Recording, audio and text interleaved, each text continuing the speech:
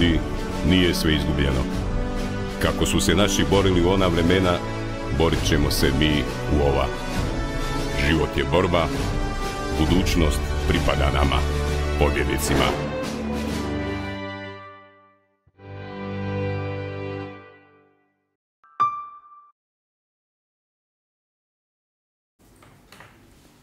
Dragi prijatelji, i u današnjem podcastu ćemo uh, pokušati razotkriti uzroke ovakve situacije u Hrvatskoj, ovakve jedne uh, rezignirane malodušnosti ljudi, jedne neučinkovitosti u bilo kakvom obliku pokušaja promjene bilo čega u ovoj državi. Dakle, imamo jedan onako stabilan, betonirani sustav sa uh, onak jedan formalno stranački duopol, iako po svemu sudeći se bitno ne razlikuju, osim kada, osim u pozicijama vlasti i oporbe, pa kada jedni napuste to mjesto, dođu drugi, onda stvar kreće zapravo iz početka i svodi se na bogačenje. U prošlom podcastu smo razgovarali o aferi u INI koja je potresla Hrvatsku, koja je još jedna u nizu bezbrojnih korupcijskih afera koje se onako ko gotovo svakog tjedna pojavljuju u domaćoj javnosti i onako sablažnjuju cijelu ovu našu situaciju. Pitamo se što je to, što je tome uzrok da su Hrvati postali takvi, uh, takvi ljudi skloni uh, svim nepočudnim, nemoralnim radnjama koje u konačnici nanose štetu svima nama kao zajednici. E sad, svi ti, evo, dakle, ti protagonisti, recimo, ove, ove, ove afere u INI mogli bi mogli se pitati koliko smo svi mi odgovorni za to što se dogodilo u INI. Jesmo li svi mi zapravo ti koji oblikuju uh, svjetonazor, koji oblikuju atmosferu u kojima u kojoj nastaju ovakvi slučajevi. Jesmo li svi mi na neki način ponekad bili spremni dati mito, primiti mito, nešto zatajiti, zažmiriti na neku nepravdu, uh, ne reći neku istinu, prilagoditi se nekakvoj laži. Jesmo li svi mi zapravo kreatori, oblikovatelji ovakvog jednog ambijenta u kojem onda stasaju razni, razne afere o kojima, o kojima evo, nažalost, iz tjedna u tjedan uh, slušamo, čitamo, gledamo. Uh, znate ono, mišu riječu dijelom i propustom. Dakle, upravo ta zadnja riječ, propust, koliko smo tim propustom uh, odgovorni za ovo stanje u Hrvatskoj. Evo, u subotu je bio jedan prosvjed, pokušaj da se nešto, nešto učini. Nažalost, čini se da, da taj pokušaj je tek jedan u nizu e, onako prilično neuspješnih pokušaja, pa ćemo početi sa, sa, tom, e, sa, sa tim slučajem zašto se događa ovako, zašto Hrvatska ne uspjeva, odnosno zašto ljudi u Hrvatskoj, oporba, politički aktivisti, zašto ne uspijevaju napraviti jedan prosvjet koji će zaista biti motivirajući za vlast da nešto učini, da nešto promijeni, da od nečega odustane ili da, da nešto konačno ovaj, uvede. Pozvao sam u naš studio našeg kolegu Domagoja Pintarića. Domagoj, dobrani, dobrodošao. Bok, dobro. Evo, ljudi ne znaju da si ti prije 20 godina bio jedan vrlo uspješan politički aktivist, da si organizirao prosvjede, da si stvarao organizaciju, da je ta organizacija čak uspjela natjerati ondašnje e, vladajuće da, da nešto promjene, da čak su zakon neki promijenili temeljem onoga što ste vi e, radili, da si sudjelovao si u kampanjama, u, u, organizirao koncerte, a u konačnici i tu si jedan od ljudi koji je zajedno s nama a, pokretao i ovaj projekt podcasta Velebit. Bio si u subotu, na, bili smo zapravo i zajedno, ja sam malo kasnije pridružio na, na, na tom prosvjedu, promatrali smo ga, pa evo kako bi ti ocijenio što se to dogodilo u Zagrebu u subotu tamo kod, kako mi velimo, kod džamije? Pa da, evo, mislim, spomenuo si to, organizirao sam dosta javnih događaja, među kojima je bilo i dosta nekakvih recimo to prosvjeda ili nekakvih akcija koje su bile namijenjene nekakvom podizanju svijesti javnosti ili bilo čega što je to bilo, što je bilo u krajnjem slučaju i ovo u subotu, pa imam određeno iskustvo s tim, tako da sam s te strane gledao što se događalo u subotu. Uh, rekao bih da su dvije stvari koje su bitne za istaknuti. Jedna je sama loša organizacija skupa, odnosno nešto što je puno stvari koje je nedostajalo i drugo je e, na koji način se taj skup prezentirao u javnosti. Na neki način su čak i povezani. E, glavni problem je fokus prosvjeda. Ja bih to rekao da je glavni problem preusmjereni fokus na govore I onda zbog toga što su uopće bili govori, umjesto da se fokusiralo na nezadovoljstvo e, ljudi, na nezadovoljstvo javnosti, da se tu pokaže nekakva masa koja je nezadovoljna, koja želi stvarno nekakve promjene, mi smo se fokusirali na to tko će govoriti, i onda su se zbog toga počeli javljati drugi ljudi koji su htjeli govoriti, zbog čega se organizacija svađala s tim drugim ljudima, na kraju se taj fokus potpuno maknuo sa onoga što je trebalo biti, odnosno prosvjed protiv vlasti i svelo se na to tko smije, tko ne smije, tko je cenzuriran, tko nije, tko je zabranjen, je li to kontrolirana oporba ili nije, na što, što je u konačnici utjecalo na slab odaziv e, prosvjednika. Prije što nastaviš, važno je da istaknemo još jednu, još jednu uh, dakle, ovo što sada govorimo, ova analiza ovog prosvjeda, nije zato da bismo obeshrabrili ljude, pa čak i te organizatore tog prosvjeda, dobro je, dobro je da se radi bilo šta, jer pretpostavljam da će i oni nakon nakon ovakvog prosvjeda uh, uvidjeti gdje su bili propusti i kako to eventualno drugi puta bolje. Ovo, ovo pričamo, dakle, i njima i, i, i nekim drugima, koji, među našim gledateljima, koji će se možda u jednom trenutku odlučiti da krenu u takvu jednu avanturu organiziranja nekakvog prosvjeda, temelj, evo, da prenesemo iskustva, znanja kao, kao i sudionici nekih takvih događanja i kao neki analitičari uključeni u neke kampanje i tako dalje. Pa evo, samo sam to htio našim gledateljima, dakle, nismo, nismo zločesti i zluradi, nego pokušavamo, evo, dati e, nadograditi znanje. Evo, da pača, i bio sam na većini dosadašnjih prosvjeda, pogotovo ovih koji su organizirali ti isti organizatori, snimali smo jednu reportažu s tog prosvjeda za podcast Velebit, tako da nismo stvarno protiv toga da se nešto događa, da pače, drago nam je, sad smo i došli podržati to u subotu svojim dolaskom. Međutim, uh, moram priznati sam već u startu otišao s prosvjeda jer je prva govornica uh, hvalila prosvjed za sto jedinicu, hvalila je Feral Tribune, uh, pričala je stvari koje se ne uklapaju u onaj prosvjed kojim se, nije, mi se učinilo da ljudi zagrnuti HOS-ovim zastavama, hrvatskim zastavama imaju naročito dobro mišljenje o jedinici. Ideološki miks koji ideološki nije miks. Na, na trenutke je izgledalo kao da je to više prosvjeda u jednom, odnosno kao da su se više njih dogovorili da će imati prosvjed na istom mjestu u isto vrijeme, pa sad svako trpe, tupi svoje. Međutim, ovoga, stvarno, ne, ne želim biti na skupu s ljudima koji hvale Feral Tribune ili koji hvale sto jedinicu i koji e, pričaju protiv tadašnjeg režima na račun onih koji su prosvjedovali protiv njega. Da, znači tu je, recimo to je greška, znači tu je trebao taj jedan ideološki filter biti i ako su već bili različiti svjetonazora da se suzdrže od takvih ovaj, kvalifikacija. Pa da, mislim, ne, ne vidimo uopće kakve veze mi imamo tamo u subotu, kakve sve veze mi imali sa sto jedinicom, e, jedno i drugo je bio prosvjed, ali ne, vidim, ne vidim baš nekakve Što je, što je bio problem u govornicima?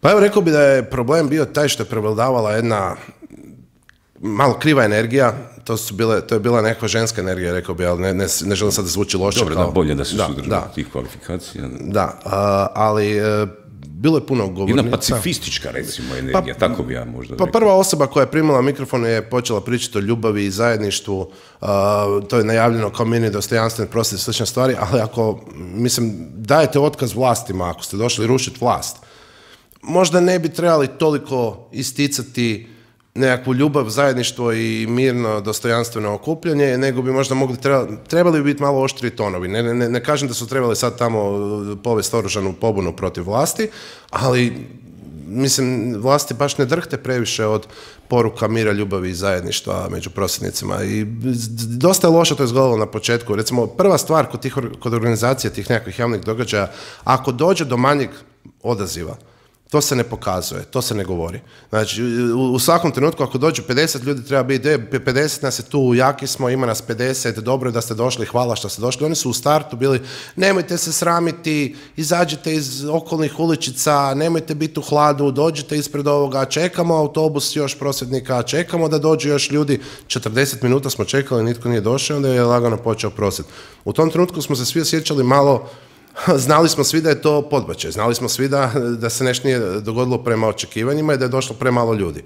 A nije malo, mislim, tisuću dvije ljudi opet nije malo, mislim, za, za, za nekakvo okupljanje je i to dovoljno da se nešto napravi. Među tih tisuću dvije ljudi opet bilo ljudi koji su, ne znam, jedan je ono, bacio ono jaje, neki su pokušali nešto poslije organizirati. Bilo je ljudi koji su nešto tamo mogli napraviti, mogli poduzeti. Međutim, kad im se u startu kaže ovo nije uspjelo, nismo zadovoljni, Tak Da, se mi ja, sjećam. Ono, ono, dakle, ovo što si počeo, tajna energija, taj jedan pa- pacifizam koji se cijelo vrijeme širio i sadržaj onoga što su govornici govorili, sve je bilo na, na način ja sam majka, ja sam roditelj, ja se bojim za moj, ja, ja ne želim da, da oni pa, da- ili recimo jedna govornica je govorila kao mogu me pljuvati koliko god žele i mogu me udarati što god hoće, ali ja neću popustiti da moje dijete ovo ili ono, ne. I sad slušao sam to i mislio si, pa čekaj, kako možeš reći mogu me pljuvati koliko žele? Ne mogu me pljuvati. Zašto?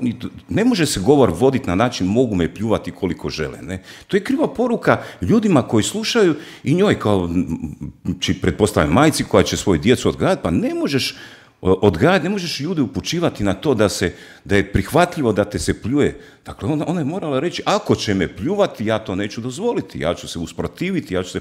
Dakle, to je bio taj jedan, to je onak jedan čudan miks tih nekakvih, eh, ne znam, li to neki seminari koji se događaju ono unutar crkve gdje se propovjeda ona, one neke kršćanske misli, okreni drugi obraz, popusti, eh, dozvoli da te se ne znam šta tuče i tako dalje. Ali to je potpuno pogrešno jer čak i to nije suština kršćanstva. Ne? Suština kršćanstva nije nekako, nekako, nekakav mazohizam koji, koji se svodi na to da, da stalno okrećeš da se stalno namještaš e, nekakvom e, čovjeku koji te maltretira, nekakvom sustavu koji te maltretira, nego, nego da se pobuniš. Ne?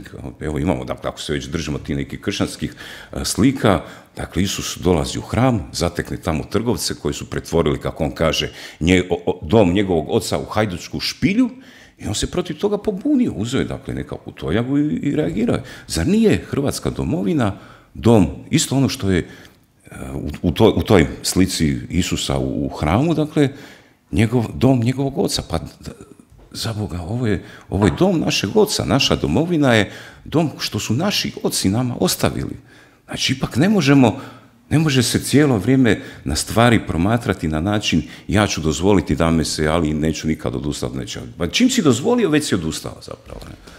Da, mislim, cijela ta priča gdje oni traže zapravo e, dozvolu od vlasti da smiju prosvjedovati protiv vlasti već promašena. Jedna od govornica koju sam ja upamtio je došla nakon, e, mislim da je gospodin bio branitelj, bio je govornik, e, došla je nakon njega i kad je on sišao s pozornice, rekla je kao, vi niste mogli to vidjeti, ali on je drhtao dok je držao govor. I sad, milo mi je onak, zašto je to imala potrebu reći? Zašto je imala potrebu dati nam znanja da čovjek ima tremu? Očito nije kukavica ako je branitelj, znači čovjek se borio, ne vjerujem da se boji, nego ima tremu, kao što većina ljudi ima tremu pri javnim nastupima, to je dosta visoko na ljestvici strahova, to je nešto normalno, ali nekako nije mi normalno da se to naglasi pred ljudima, da govornici na skupu drhte, da govornici na skupu imaju tremu, da ljudi koji su došli rušiti vlast imaju Jer oni bi trebali biti predvodnici. Pa oni bi ne? trebali biti predvodnici, oni bi trebali biti odlučni tamo, mi bi trebali njih slijediti, a ne da nam ona govori, evo mi imamo tremu, on je upravo drhtao. Mislim, šta je ona htjela time poručiti, osim možda, evo ja sam bolja od njega jer ja ne drhtim, ja sam to uočila, ja ovo, ono, tak mi je djelovalo. Djelovalo mi kao da nisu baš usklađeni u tome što nam žele poručiti. Djelovalo mi kao da nisu baš jako odlučni u tome što nam žele poručiti. Znači, mi smo došli tamo s namjerom da se nešto dogodi. Mi smo slušali govore. Slušali smo govore identične, više manje onim svim prethodnim. Nitko od 2000 ljudi koji su bili tamo nije u sumnji šta se događa. Da oni sad nama moraju Da, objasniti. koje su parole se čule najčešće? Pa uglavnom je bilo uh, HDZ krade, HDZ ima svoje ljude u, u državnim agencijama, pa mislim većina ljudi to zna. Svi oni koji su došli tamo to znaju. Nije to ništa novo. Ne treba mi 20 govornika koji će mi ponavljati jednu te istu stvar. I zašto smo uopće imali te govore? Č- Zašto, zašto su bili potrebni ti govori? Ništa novo nije rečeno. Ljudi su samo došli izbaciti svoje frustracije. Imao sam osjećaj kao da sudjelujem na nekoj velikoj terapiji, na nekoj velikoj radionici na kojoj sad mi pričamo šta nas muči. Psihoterapija. Psihoterapija, pa mislim, niko nije ništa ponudio, nitko od njih tamo 20 nije došao i rekao, ajmo sad napraviti to, to i to, ili treba napraviti to. Oni su, maknite se s vlasti, pa nek vlast izabere, ovaj, nek narod izabere ljude koji će ih voditi. Pa mislim, šta? Ono, ka- kako, kakav je to točan prijedlog, šta treba napraviti? I takvi su bili svi, nekonkretni, eh, bez ikakvih eh, rješenja, jednostavno nizanje problema, detekcija problema. Imamo ljude koji eh, zlorabe vlast, imamo korupciju, imamo ovo, imamo ono, i šta sad s tim? Da, i na sve to imam dojam da su imali problem kako to vrijeme nekako, satnicu, valjda su si odredili sat ili sat i pol da to sve skupa traje, kao da su tražili ovaj, neke e, načine kako to vrijeme u- raznoliko popuniti. Ne, mislim da je bilo dva puta minuta šutnje, Da, pa se pjevala neka pjesma, pa su ono Vladu Gotovca Slušali citirali. smo govor od Vlade Gotovca iz 90. ispred pete vojne oblasti u, u realnom trajanju govora. Ne znam čija je to ideja bila i što je to točno trebalo predstavljati. To je recimo bio jedan od potpuno nepotrebnih trenutaka prosvjeda, kao i sve te minute šutnje. Ja znam da, su- da su ljudi dan ranije stradali i da su ljudi stradali u ratu, ali to, to dovodi do toga da ljudi koji su na tom prosvjedu stoje tamo satima, mi smo stajali malo sa strane, maknuli smo se, vidjeli smo sa strane, smo vidjeli koliko ljudi svakom trenutku odlazi. Do kraja prosvjeda je ostalo manje od trećine ljudi koji su došli na početku. A nisu otišli bez veze, otišli su zato što netko priča stvari koje ili već znaju i koje ničemu ne vode, zato što se održavaju sve te minute šutnje, zato što čovjek pjeva usred prosvjeda, zato što imamo puštenu snimku govora starog 30 godina, pa normalno da će ljudi otići. Umjesto, mislim, kad, kad se organizira prosvjed, treba se odrediti koji je cilj tog prosvjeda. Dovoljno je pogledati na vijestima kako izgledaju prosvjedi izvana. Taj dan su bili prosvjedi u Austriji, bili su, ne znam, u Beogradu, bili na na još par mjesta. Svaki od tih prosvjeda kad se pogleda snimka, vidi se ljudi koji hodaju ulicom. To djeluje moćno, to djeluje impresivno, zaustavljanje promet, ljudi su odlučili izaći na ulice, hodaju, to ima nekakvu svrhu, nekakav cilj i to izgleda dobro. Ljudi koji stoje na trgu ne izgledaju baš nešto strašno moćno, ne vidi se ni koliko ih ima, tamo je bilo 2000 ljudi, izgledalo kao da je 200 ljudi, još su se okupili na najgore moguće mjesto u gradu, oko okrugle džamije, tako da ljudi stoje s jedne i s druge strane, niti jedan snimatelj, niti jedan fotograf nije uspio obuhvatiti sve prosvjednike na skupu, tako da na svim fotografijama, na svim snimkama to izgleda još slabije nego što je bilo. Potpuno bespotrebno stajanje, umjesto da smo hodali, umjesto da slušamo... čemu je razlika ako se hoda u odnosu kad se stoji? Što se postiže kada kolona, kada prosvjednici marširaju ulicama? Znači kad se odredi da se ide od jedne do druge točke, kad ljudi hodaju ulicom, prvo to izgleda puno bolje jer tih tisuću dvije ljudi da su hodali ulicom, to bi bila velika kolona. To bi bila kolona koja bi sigurno popunila dobar dio ulice, ako se naprave nekakvi transparenti kakvi su imali, to se stavi na početak sa strane, to dobro izgleda. Drugo, u tom hodanju nema govora i ljudi automatski više sudjeluju. Ljudi koji su došli na skup sudjeluju u tom, umjesto da samo stoje i slušaju. I kad dođe do toga, ljudi počnu pjevati, ljudi počnu vikati parole, ljudi počnu nešto dobacivati. Sjećam se onih Facebook prosvjeda 2011.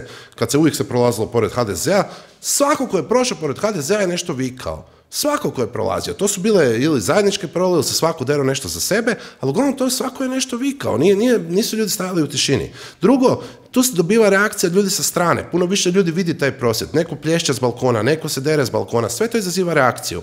I svi ti ljudi iz tog skupa reagiraju na to. Ako gospođa neka s balkona plješće, bravo, ajmo samo to, oni će na to odgovoriti sa pljeskom, plje, ne- ne- nešto će se događati. Tu stoje na trgu i slušaju iste govore.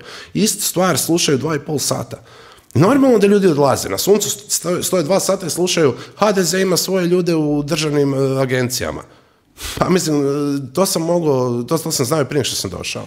E, naslov tog skupa je bilo, čini mi se, dajemo vam otkaz. Dajemo vam otkaz, ne?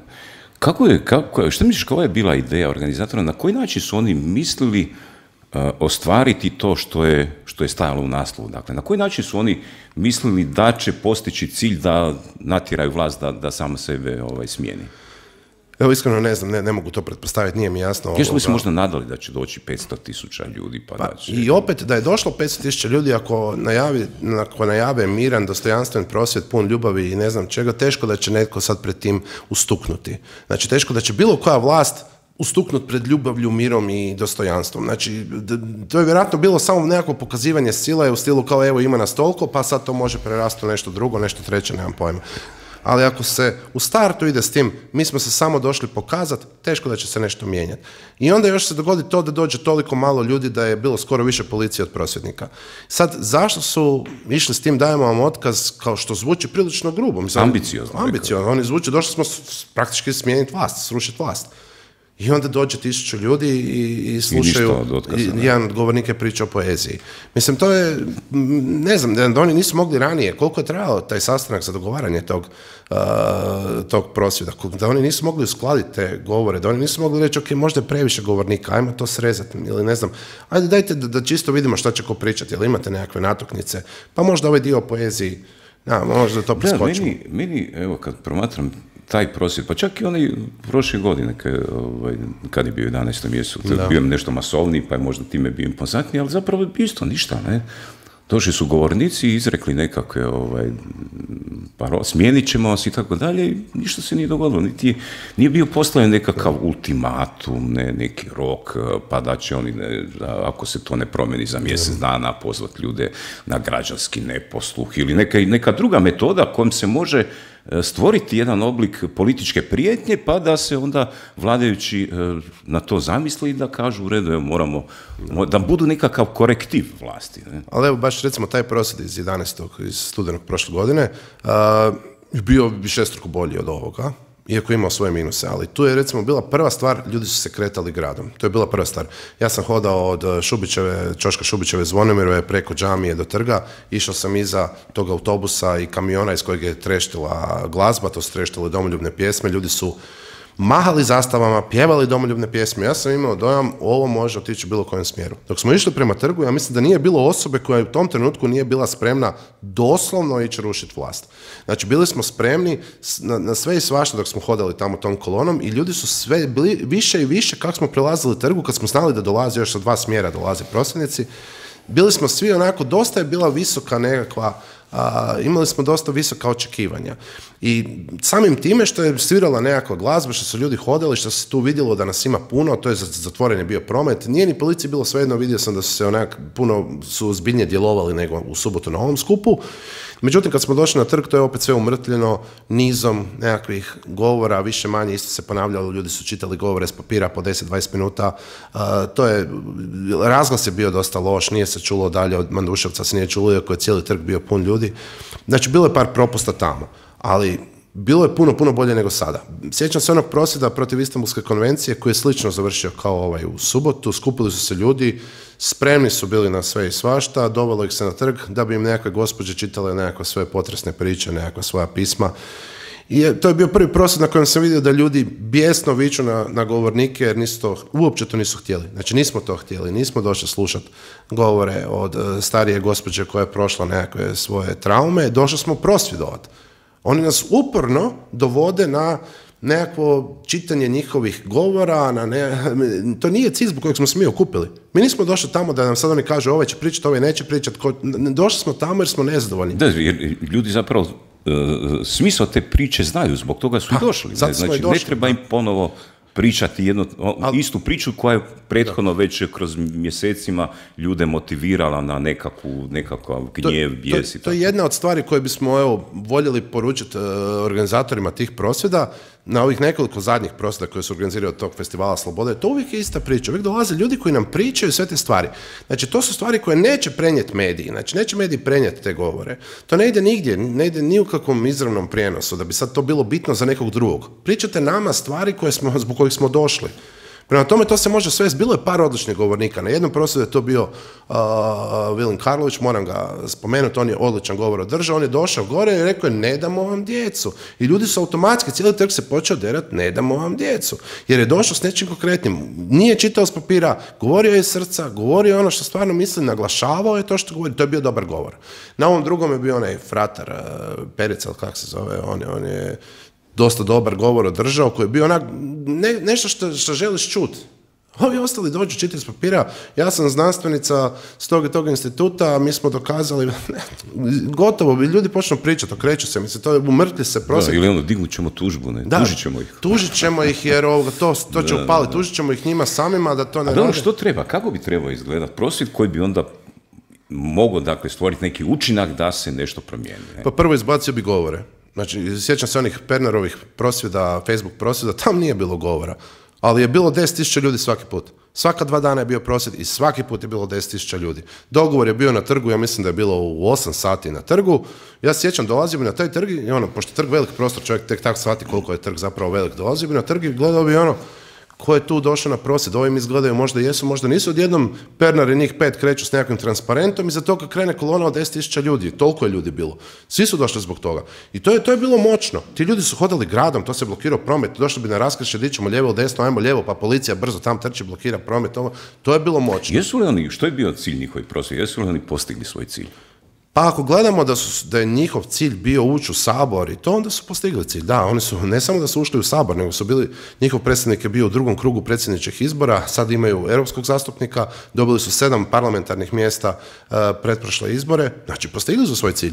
Jer njima je cilj bio postati nekakva sila u državi, nekakva politička opcija. To su postali od nule. Došao je Pernar jedan dan na trg i imao je natpis sa datumom. Za dva dana se kao vidimo opet. Sam. Za dva dana je došlo 200 ljudi, za dva dana je došlo, tad sam ja prvi put došao, znači na taj treći prostor sam prvi put došao kad je bilo onaj sukob Dobro, ali to nisu rekli ljudima, nama je cilj da uđemo u Ha, dobro, mislim sad, oni to nisu rekli kao što nisu rekli možda ni da je ci- cilj onih svih sprečavanja deložacija, možda rad na popularnosti, ne znam, meni se činilo da je. A- a- ali i, i slična je bila konstrukcija. Dakle, i tada je bio cilj tih prosvjeda nešto, neki, neki, ne- neki ovaj, bunt protiv, nezadovoljstvo protiv vlasti. ne? Da, tada je opet isto bio HDZ, bila je Jadranka Kosor, tada ja mislim e, premijerka. A, kako, kako bi, kažeš, bilo bi bolje da se, da, da, da se pozove dakle, ljude, da se napravi nekakva organizirana kolona i da ona ide sa točke A do točke B. Što bi se, e, i što bi trebalo, kakve bi trebale biti poruke koje bi onda mogle navesti vlast da nešto promijeni? Znači, prva poruka je mi smo tu, ima nas, nezadovoljni smo i spremni smo mijenjati stvari. Znači, to je to, prikupiti sve ljude kojima je dosta, kojima, koji žele nešto promijeniti. I tu ne treba sad e, tim ljudima davati ideje, E, ti ljudi sami već znaju što treba napraviti. Ti ljudi sami znaju da ovo nije dobro, da treba zrušiti vlast. I sad, ako ih pustimo na ulicu, ti ljudi će pokazati svoje nezadovoljstvo. Ako ih držimo na nekakvom zatvorenom trgu i pričamo im, to neće baš e, jako ovoga, izazvati nekakvu reakciju od tih svih sudionika.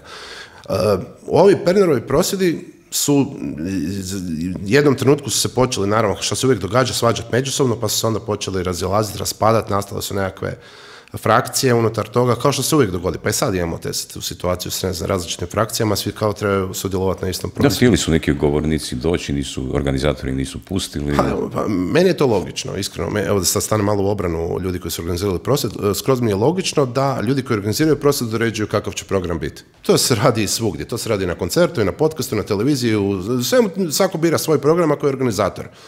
Nije komplicirano organizirati prosvjed. To je doslovno jedan posjet policijskoj postaji gdje se dođe, prijavi se prosvjed ne znam koliko dana unaprijed, prije je bilo dva, ali može se organizirati više, može se otići više, prijavi se redarska služba i to je to. Mislim, čovjek može imati razglas, može imati svoj autobus s razglasom, može imati megafon, može imati šta hoće. To stvarno nije problem za organizirati. Da je sad to jedan prosvjed godišnje, pa se sad svi guraju na njega, shvatio bi. Ali to svatko može organizirati prosvjed. Pa mi nije jasno, sad nekakvi tamo veliki e, prosvjednici ne mogu organizirati svoj prosvjed, nego moraju doći na tuđi prosvjed da im ovi daju prostor. Meni je skroz logično da organizator sam određuje ko će tamo pričati. Druga stvar, ti ljudi koji organiziraju prosvjed prijavljuju se taj prosvjed svojim imenom i prezimenom. Oni, oni, oni odgovaraju za sve što se na tom prosvjedu izgovori i dogodi. Ako dođe netko tko će pozivati ljude na nekakve nasilne revolucije putem e, razglasa i to, oni će odgovarati za to. Prema tome, ja bi isto na njihovom mjestu bio prilično oprezan koga ću pustiti da priča, koga neću pustiti da priča. I e, normalno mi je da ako neko tu izgleda imalo labilno, ako je neko tu pričao o nekakvim ustancima, da mu kažem, mm, ono, imaš poslije nas vremena, organiziraj šta hoćeš. Bili smo na prosvjetu u Vukovaru ono prije, koliko? par godina, Četiri, četiri, četiri godine, jel, kada, je, kada je bio onaj e, prosvjed, to je Penava organizirao, e, zbog neprocesuiranja ratnih zločinaca u, odnosno ratnih zločina u Vukovaru. Ne? I to je bio onako jedan veliki skup, dobro organiziran, dobro najavljivan, iako je tu isto malo bilo nekih suvišnih govora i govornika. Međutim, ono što je ključno, što je izostalo tom, na tom prosvjedu, a što je bila dobra prilika da se učini, da su nedostao, izostalo, dakle, što ako vlada, dakle, što ako vi ne učinite ono što mi od vas tražimo. Ne? Dakle, oni su tada iz, ovaj, javno pročitali neke zahtjeve koje traže, ne? Nešto od toga kasnije su onda išli neki pregovor, ali mislim da se to sve izgubilo kasnije, ono kako se kaže u prijevodu. A, mislim da je nedostajalo da je tada vodstvo tog, recimo Penava, da je rekao, evo, ako, ako se to ne promijeni u sljedećih godinu dana, sljedeće godine pozivam, znači, ili šest mjeseci, dakle, pozivam sve vas koji ste ovdje i druge ljude u Hrvatskoj koji su spremni, idemo u Zagreb, ne? Dakle, idemo u Zagreb, um, pozvat ćemo ljude, ne znam, na kakve građanski neposluza, blokirat ćemo ulici ili šta se već, dakle, što već sve stoji kao nekakav arsenal na, u tim demokratskim ovaj, em, metodama prosvjedovanja. Nije mi jasno zašto to nisu izgovorili. Vjerujem da, da, je, dakle, da je bio postavljen takav jedan ultimatum od godine dana, da bi se i tekako uh, krenulo bi odbrojavanje, ne? odbrojavalo bi se do tog trenutka i mislim da bi pritisak na one koji donose odluke bio znatno veći i onda vjerojatnost da, da učine nešto u, u, pravcu onoga što, su, što se na tom prosvjedu htjelo postići, da bi vjerojatnost bila daleko veća. Zašto, zašto organizatori prosvjeda u Hrvatskoj ne postavljaju ultimatume? Pa koliko sam primijetio, to je slučaj sa svim prosvjedima. Kad god se ide protiv nečega, svrha je da se tamo ljudi okupe i to je to, to je kraj. Što mi, nije mi jasno, mislim, vi im najavite, mi ćemo biti tu od 11 do 1 i, i oni kažu dobro, mislim, dođete vi svaki dan. Ja, još pogotovo ako se ne blokira promet ili ništa, pa mislim, ne, ne, ne vidim problem ikome da je stvoren u vezi toga. Znači, ako mi kažete doći ćemo tu, imat ćemo miran prosvjed u toliko i toliko i onako toga je razlaz, pa dobro, prosudite koliko hoćete. Znači da se nešto počne događati, da se postavi ultimatum ili da se jednostavno stvara nekakav mali, da, mali kaos, znači da se blokiraju ceste. Samo to, da se svaka dva dana blokira promet. Pa bi sad tu već ljudi malo počeli biti nervozni, opet blokada promet, opet ne možemo ovo. Tako je bilo s Pernanom opet su stali tramvaj, opet ovo, opet ono. Pa će neko u vlasti reći, dobro daj, jel možemo nešto tu napraviti da se to barem zaustavi jer nam ljudi prigovaraju zbog nečega. Da ne pričam da se počnu događati nekakve ozbiljnije blokade ili da se nešto ozbiljnije nenasilno, nešto što ne izaziva nikakve žrtve, nešto što ne izaziva, nešto samo da se počne događati, da se pokaže mi nećemo samo mirno stajati prosvjedovati, nego smo spremni na manje neke problemčiće tipa blokada prometa. No, samo to. Znači ne mora sad tu biti nikakva da, da, problematična priča. Da, dobro. Ovo, i? Pa, pa, mislim, e, ja sad idem organizirati prosvjed, pa ono, mislim, cilj bi mi bio pokazati nekakvu snagu, nekakvu silu. Da, da to nije samo e, par ljudi koji su se tu skupili i, i pričaju o miru i dostojanstvu, nego da ljudi imaju volju napraviti nešto drugo. I to, to se pokazuje na neke druge načine umjesto stajanjem na trgu. Pa što misliš, u čemu je stvar? Zašto nijedan prosvjed do sada, dakle svi ti ljudi koji su to organizirali, nijedan prosvjed se nije dosjetio tako jedne jednostavne evo, mogućnosti o kojoj mi sada govorimo, pa da ta, na taj način nisu nikad Mislim, nijedan prosvjed organizirali. Sjećam se prije ono 20 godina ista stvar je bila, bilo jako puno ljudi koji su razmišljali na taj način kao što ovi razmišljaju danas. Uvijek je bilo kao uh, moramo imati, ne znam, govornike, moramo imati ovo, moramo imati govore, programe, uvijek se, uvijek se svodi sve na pisanje tih nekakvih programa od 20 stranica, svi uvijek predlažu nekakva rješenja, sve, to niko neće pročitati nikada, nitko se neće time baviti, nikog to ni ne zanima, a zanemaruju sve one stvari koje bi ljudima bile zanimljive. Znači, zanemaruju javna događanja, zanemaruju prosvjede, zanemaruju, recimo, ova situacija u Zagrebu trenutno je dosta zanimljiva, da je bilo koja druga opcija na vlasti. Možemo i ostale ove njihove lijeve opcije bi protestirale protiv neodvoženja smeća bili bi ispred gradskog poglavarstva, bili bi ispred gradske skupštine, blokirali bi promet, ne znam šta ne bi radili, nosili bi smeće tamo na stepenice, poklanjali bi im metle, ne znam šta sve ne bi napravili, ali bi se bavili time na ulici, na taj način bi dobili prisutnost u medijima, kod ljudi bi to malo aktualizirali, ljudi bi gledali na to drugačije, gledali bi na njih drugačije jer su oni jedini koji nešto rade, koji se bune, međutim kad se njima to događa, nema nikog da prosvjeduje protiv toga. Zašto? Šta je to? Je li to onda problem desnice koja nema mašte, nema, nije zainteresirana, ne zna, ne zna. U čemu je stvar? Da, ne znam. Mislim da je puno... Mislim, sad i ljevica na vlasti u Zagrebu, zato kažem. Da I može se reći zasluženo. Zasluženo, jer su, ne, nisu oni ni po čemu posebni. Desnica uvijek ima one svoje adute kao to su Soroševi milijuni, milijuni donacija, to su nekakvi udbaški mediji, mediji su njima naklonjeni, mediji ovo ono onda, onda se uvijek vratim na živi zid. Jel živi zid ima milijone donacije, jel živi zid ima udbaške medije, jel živi zid ima naklonjene strukture, jel živi zid ima jel bilo kakvu infrastrukturu ili nekakvu, šta, su, šta je živi zid imao, a dobio je rezultate bolje nego koje ima desnica danas. Znači nije uopće stvar u tome da ovi imaju milijune, ovi nemaju, jer u krajnjem slučaju desnica ima milijune, samo s tim milijuni pogrešno raspoređuju, nego jednostavno ljevica to više želi. Jednostavno to više želi i znaju što treba napraviti. Znaju da bez javnih prosvjeda, bez javnih akcija, bez javnih događanja nećete dobiti prostor u medijima. Desnici se događa to da se oni žale kao niko nam nije došao na preskonferenciju. Zašto bi došao na preskonferenciju? Šta, koji ste vi faktor da vam neko dolazi na preskonferenciju? Imate 300 glasova u gradu, zašto bi vam neko dolazio na preskonferenciju? Ali ako organizirate prosvjed ispred gradskog poglavarstva, doći će svi mediji. Oni mogu davati nekakve svoje opaske tijekom tih reportaža, oni mogu reći to je sad, ne znam, ekstremna desnica, ovo, ono, ne znam, mogu da, ali ljudi će vidjeti da se neko tu skupio. Da, evo ova situacija oko smeću u Zagrebu. Vrlo sam, prilično sam siguran da bi, da je kojim slučajem uh, Bandićeva vlast još uvijek aktualna, mislim da bi ova ekipa Možemo imali nekakve prosvjede gdje bi dolazili pred vrata poglavarstva i, i, i ispražnjavali vreće sa smećem. Da. Evo, I to bi onako, a to bi bilo sad tamo nekakve gužve, nekakva guranja, možda neke prekršajne prijave i tako dalje, ali oni bi tu dobili pozornost, mediji bi to snimali i to bi bio cijeli cirkus. Zašto? Kako to da se desnica ne, ne usudi na, na tu razinu jedne političke provokacije kao što je recimo istresti smeće, sad koliko je to kršenje neki prekr, ono, ulazi su u neku prekršajnu sferu i tako dalje, ali kao jedan politički, eh, kao jedan politički performans to bi sasvim sigurno uh, privuklo pozornost, a s druge strane ljevica se ne libi takvi stvari. Ne? Da, jer razumiju da to funkcionira, desnica to ne razumije. Desnica kao da glumi da su oni iznad toga. Znači, e, kad pogledam nekakve nastupe tih manjih desnih opcija, pa čak i nekakvih većih ako računamo ove neke parlamentarne opcije da su desnica, to su uvijek onako ljudi u odjelima koji se drže jako dostojanstveno, njima je važno da oni dođu negdje, da se pokažu, oni se tu rukuju, idu na nekakve večere i takve stvari, međutim nedostaje im onaj dio na ulici, nedostaje im onaj ulični dio koji ovi razumiju da funkcionira. I baš to, da je ovo kojim slučajem se dogodilo za vrijeme pokojnog gradonačelnika, ispred gradskog poglavarstva bi stalno viđali njih s prosvjedima gdje bi nosili smeće, istovarivali smeće, veli metlali nešto, ovo nešto bi radili, na taj način bi ih mediji popratili, ljudi koji prate medije bi vidjeli da se nešto događa, to bi onda nagradili. Kao što je Živi zid, ne znam, istovarivo one nekakve lubenice. Pa ne, recimo možemo, ne? Sjeti se, možemo kad je Tomo Horvatinčić gradio pa ovaj centar Cvjetni trg, ne? Tamo su, cijela ta ekipa možemo je visila tamo oko gradilišta, vezali se lisicama za ogradu i tako dalje, ne? Evo, danas su oni na vlasti, pa ko im brani da, da sad preusmjere, da, da zazidaju ponovo onaj prolaz u Varšavskoj koji je bio spo, spora, ne da ga zazidaju, naprave neku petlju ili šta, što već, ne?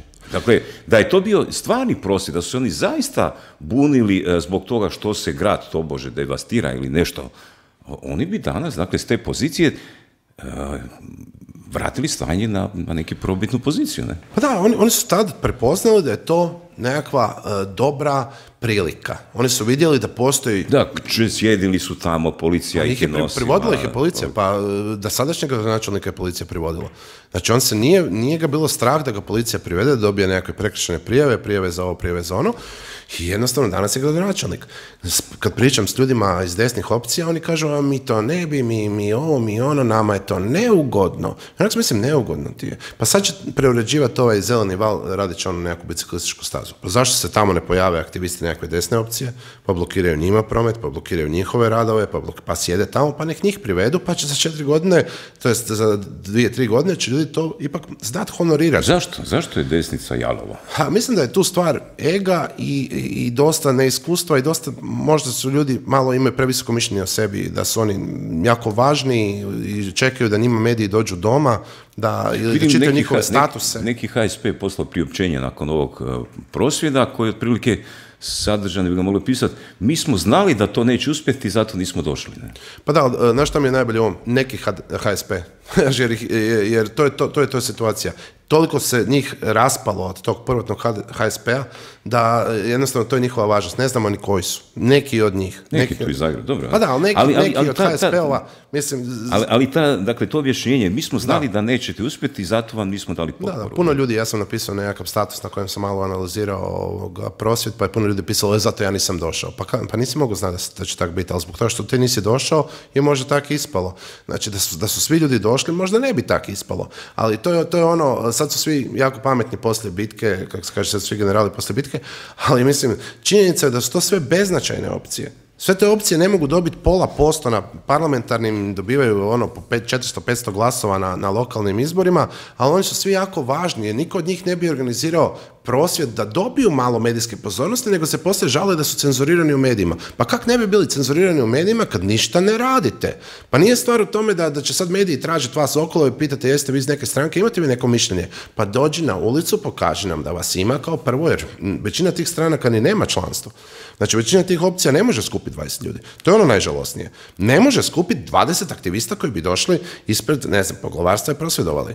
I sad oni očekuju preuzimanje vlasti, morat će popunjavati liste, kako to inače ide. Ja sam radio na par kampanja, znam, znam kako to izgleda. Pa to onda zove, e, jel možeš biti na listi, imaš nekog prijatelja, brata, sestru, nekog ko Mislim, to je, to je katastrofa. To, umjesto da rade na tome da skupe članstvo. A to nije komplicirano.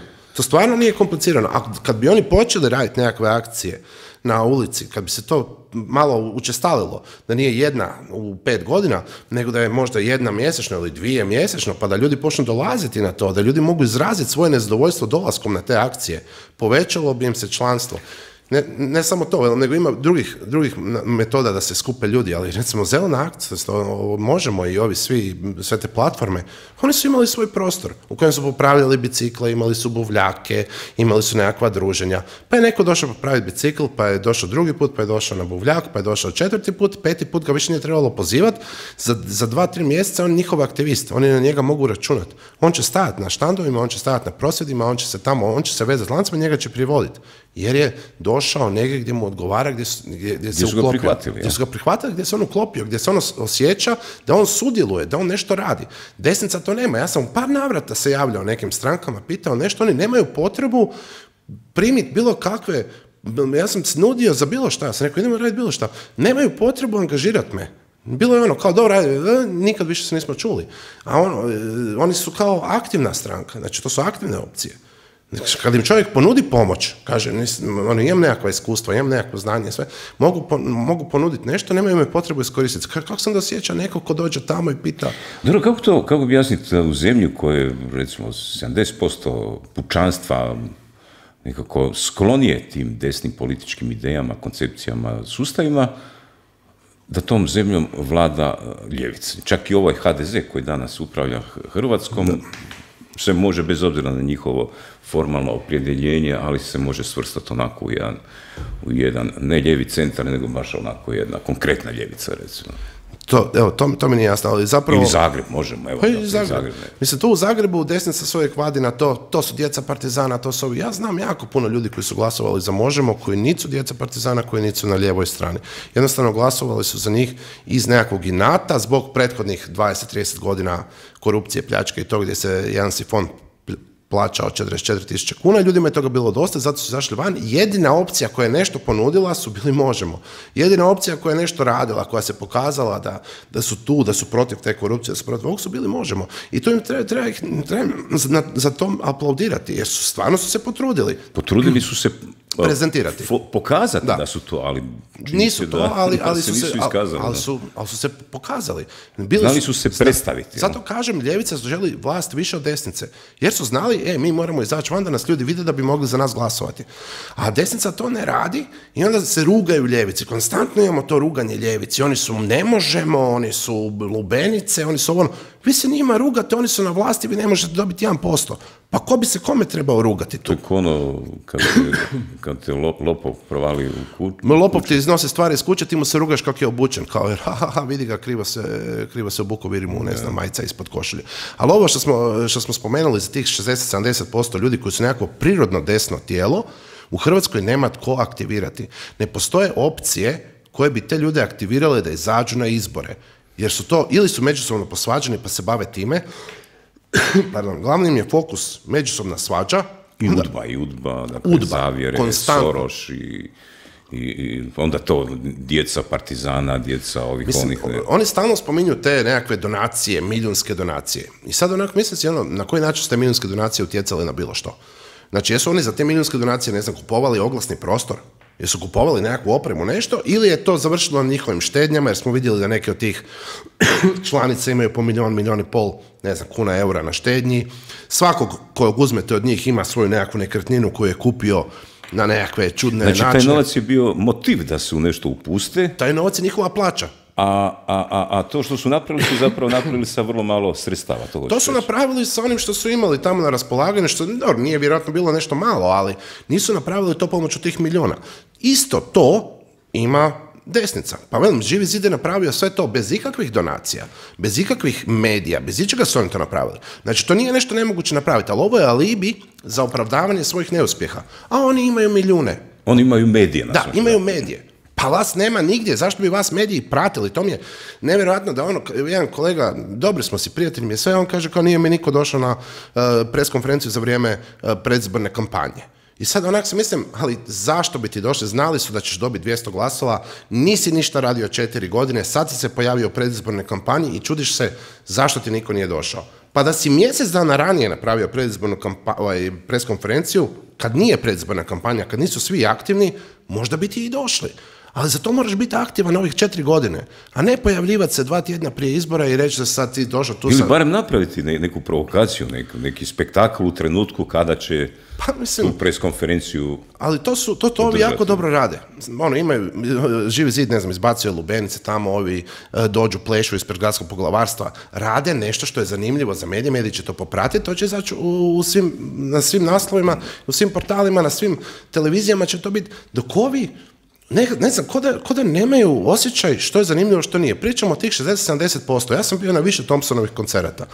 To je masa ljudi koji ide ulicom, koja pjeva pjesme, koja viče svakakve parole, koji su u tom trenutku tamo ponosni na to što jesu. Kad je bila Hrvatska druga na svijetu, to je bilo 500-600 tisuća, da, u nogometu, bilo je 500-600 tisuća ljudi na ulicama, cijeli dan su se pjevale čavoglave, cijeli dan. Ove godine Thompson iz osobnih razloga nije organizirao ništa u Čavoglavama ove godine kao da ne postoji ništa. Nema, nije bilo Thompsonovog koncerta, nema ničega, jer niko drugi ništa ne radi. Ove godine ne, nemamo, nismo imali obilježavanje oluje, jer se niko nije sjetio organizirati nešto za, za oluju. Nek smo imali onaj koncert, kako se zove, Dragojević. Doris Dragović. Dragović, koja je pjevala u Kninu, to je bilo to. Mislim da, da niko drugi nije sposoban organizirati nešto, baviti se nekakvim. Prošle, pretprošle godine su iz jedne stranke obilazili spomenike e, palim e, dragovoljcima i onak mi je bilo, ok, gle, super, naravno treba odati priznanje poginulima je sve ok, ali da se taj novac koji se potrošio na sve te uh, vijence, benzin. Da, vidiš, to, to dobro. Za, za, znači, desnica stalno se bavi komemoracijama stradanja, da, da. Nekakvim e, žrtvama, nekakve masovne likvidacije, obilježava, obilježava dakle cijelo vrijeme na, na neki način svoje poraze, svoje neuspjehe, ne? svoje stradanje. Ulogu žrtve, non stop njeguju I stalno je tu neka nepravda koja je njih u, nekom povijesnom razdoblju oštetila, neka prevara i stalno se, to onako postaje, to je dosta teško ovaj, živjeti u, u takvom jednom ambijentu gdje, gdje si cijeli život, cijela povijest, roditelji, djedovi i tako dalje su bili izloženi nekakvim nekakvim Zašto to radi? Je li to neki mazohizam ili je to nedostatak ideje? To je nedostatak ideje i to je ta pogrešna energija koja prevladava tim našim nekakvim političkim prostorom. To je ta ideja kao mi sad idemo obilježavati naše žrtve, naša stradanja, non stop smo u toj ulozi nekakvog potlačenog i onda se nakon nekog vremena ljudi s tim poistovijete. Kad počne ona priča kao mi ne možemo ništa napraviti, oni su na vlasti, oj, oni, na, oni nama određuju, oni nama vladaju. Nas ima 70%, njih ima možda 10, 20, koliko posto, ako je toliko.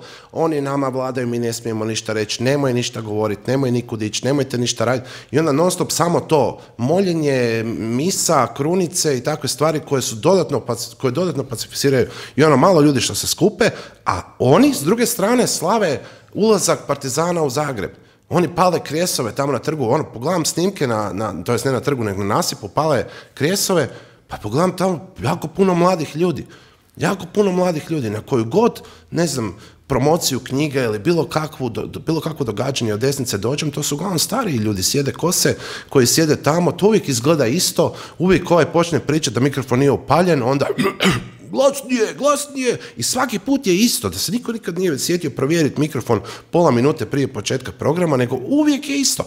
I onda ono, ovi se deru glasnije, glasnije, to su uglavnom stariji ljudi, e, kad završi taj dio predstavljanja knjige, onda se prvi koji se javi e, digne i počne pričati da on šalje nekakva pisma ministarstvu, ali ministarstvo njemu ne odgovara, on je radio to, to i to. Uvijek je isto.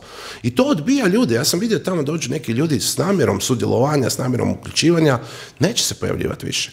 Jer je to dosadno, jer je to naporno, jer čitamo e, knjige, popis udbaša Drniškog kraja od 62. do 64. onda imamo za tjedan dana od 64. do 66. i tako stalno popisi udbaša, ko je udbaš, udba ovo, udba ono, naporno je. To je jako zamorno. Ako nije udba, onda su nekakve komemoracije naših stradanja, ovi slave stalno nešto, oni su pobjednici. Oni su ušli u grad, oni su pobjedili. Oni slave svoje pobjede, oni ne pričaju, ne znam, takvim nekakvim e, žrtvama, ne znam čemu, ono, a mi s druge strane non stop kao da, kao da ono, ne znam, imamo baš taj mazohizam gdje se mi sami želimo uvjeriti da nismo sposobni imati svoju državu, da ne možemo sami to preuzeti kontrolu, da ne možemo ništa napraviti.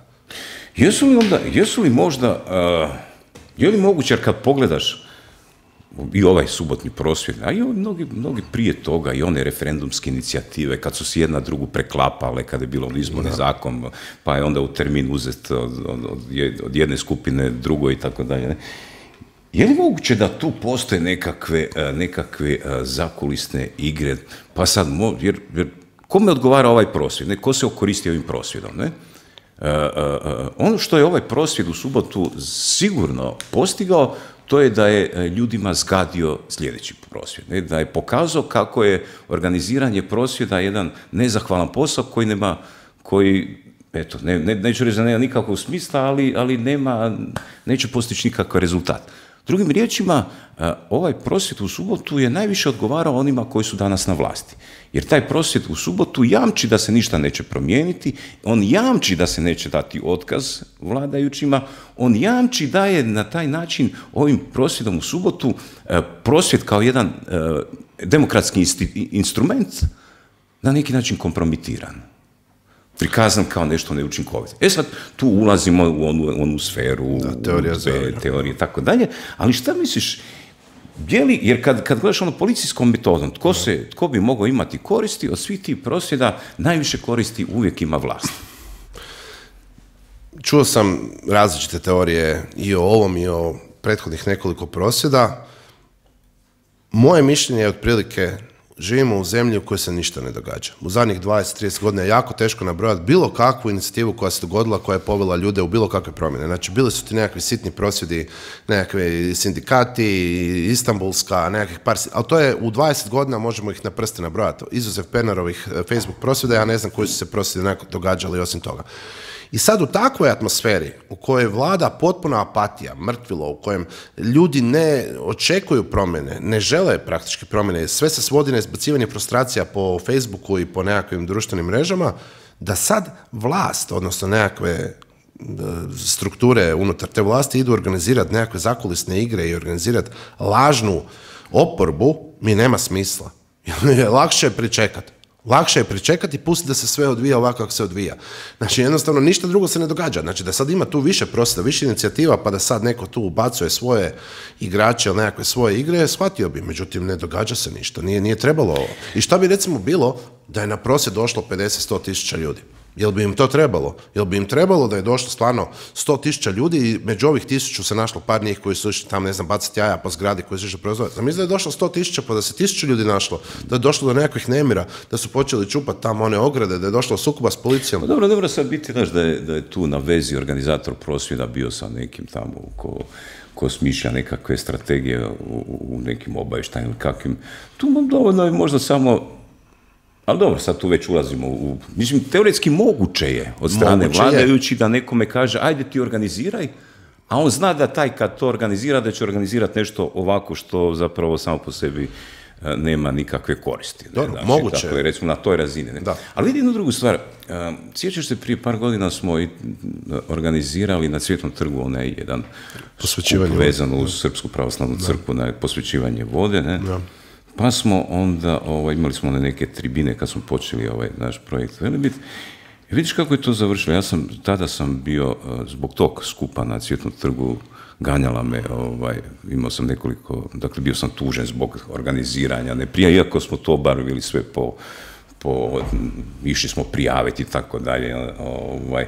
Dakle, gazila nas je policija, bilo jedno četiri, pet ročišta, jedno smo se tu izvukli, a ovo drugo što je ostalo sa, evo, sutra imam baš ročište, e, znači DORH me, DORH me sudi zbog one odjave na televiziji. To isto bila jedna, jedan oblik, eto, jer smo, se, jer smo htjeli upozoriti na na neke, ovaj, na neke pojave koje su zabrinjavajuće. Ja, ja moram priznati da sam se i, i danas mi ono je situacija vrlo neugodno, nelagodno kad, kad vidim da čovjek evo, pjeva veliča te neke ideologije koje su prije 30 godina napadale Hrvatsku državu, a Hrvatska država umjesto da stane u, u obranu sebe same, Hrvatska država stane u obranu onoga tko veliča te ideologije koje su napadale Hrvatsku, pa evo nekoga ko je dignuo glas protiv toga se rasteže po sudovima, evo sutra ne znam šta će biti, tako dalje. Ne.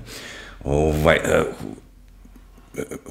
evo, htio sam reći, dakle, evo, taj, bili su ti neki prosvjednici, tu i tamo se pojavi neko, evo, ovaj momak koji je bacio jaje, recimo, vidjeli smo ga, on, on njega su, njega su odveli, ovaj, vjerojatno će se završiti sa nekakvom prekršajnom prijavom. Dakle, hoću reći, dakle, evo i mi smo tu pokušali nešto, nešto možda malo ovaj, drastičnije, iako smo se držali unutar nekih okvira, ali čim smo dirnuli u neke teme koje su tabu teme, očito je pitanje Srpske pravoslavne crkve u Hrvatskoj tabu tema u kojoj se ne smije dirati, tu je sustav vrlo oštro reagirao. E sad, s te pozicije, kad vidimo kako je, kakve su rezultati posljedice tih nekih inicijativa i tema koje smo otvarali, ipak može li se govoriti o tome da tu postoji neka sprega ovaj, da, da, da je vlast i, ipak zainteresirana za ono što se događa na ulici, što se događa u nekakvim političkim inicijativama koje onda upozoravaju na nekakve pojave koje su jednostavno nespojive, ne samo sa zdravom pameću, nego sa ustavom države ili, ili sa nekakvim temeljima na kojima ova država počiva. Dobro, ja sam siguran da postoji ta sprega, mislim ja se bavim puno manjim e, stvarima od ovog što je, oni pokušavaju pa pristupaju ljudi iz različitih službi s nekakvim namjerama. S ovim tako da nije to nemoguće da se, da se tim ljudima pristupa, da se tim ljudima nešto nudi ili da ih se možda ocjenjuje na neki drugi način. Pretpostavljam da postoji nekakav pokušaj da se to kontrolira, odnosno pokušaj tih nekakvih struktura da uđu u samu organizaciju da bi to preusmjeravale ne moraju možda nužno ući u organizaciju, dovoljno da ubace nekoga ko će to skretati s nekakvog njihovog cilja koji je bio prvotno organiziran, znači samo da se malo to preusmjeri, da se to razvodni, da se to umrtvi ili nešto, ili da se ubacuju kosti, da se ljudi međusobno posvađaju, da od jedne e, frakcije nastane njih deset. I to, to, to, mi, to mi je skroz logično i u to skroz, mislim, nema, nema razloga sumnjati u to.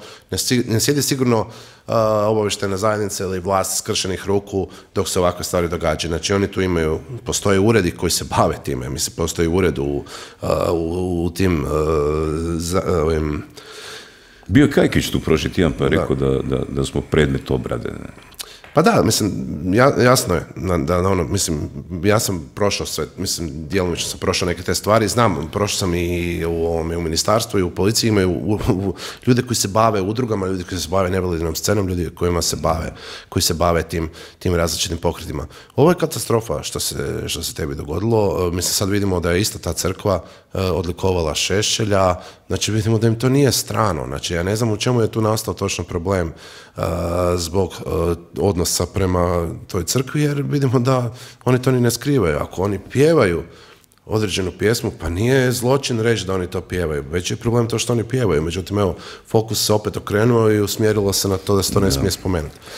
Ali ono, dobro, ne smijemo, dobro, ne ćemo pričati, pa... E, dobro, reci, e, što, što kako ti vidiš, kako bi onda, evo sad recimo da, da, da, si u poziciji, da si pozvan organizirati nešto s obzirom na cijelu ovu situaciju kod nas u Hrvatskoj, kako bi ti onda napravio jedan prosvjed ili nešto drugo, što bi trebalo napraviti pa da se stvori neka scena koja bi onda unutar sebe imala određene potencijale koji bi mogli onda stvari preusmjeriti sa ovog trenda koji je onako prilično padajući, poražavajući. Ne? Pa tu ne treba biti nešto posebno kreativan i genijalan, dovoljno je pogledati što drugi ljudi rade, dovoljno je pogledati da kako izgledaju prosvjedi vani, ako vidimo da svi hodaju s nekakvim transparentima, zastavama, parolama, onda je to očito dobar način. govori se trebaju svesti na one koji znaju držati govore, ne na sve sudionike da svi pričaju, nego na one koji znaju držati govore, da ti ljudi ne čitaju iz papira nekakve znanstvene istraživanja, nego da da pričaju ono što je bitno za te ljude, da se ljude aktivira koji sudjeluju na tim prostima, da, da ljudi viču, da ljudi plješću, da ljudi skandiraju, da ljudi imaju nekakav osjećaj sudjelovanja, a ne da stoje slušaju, nismo došli u kino, nek smo došli na prosvjed. Tako da ono, nije potrebna tišina u publici, nego je potrebno da to bude graja, da to bude buka, da to bude nekakav prosvjed i što manje fučkaljki, lonaca i takvih stvari.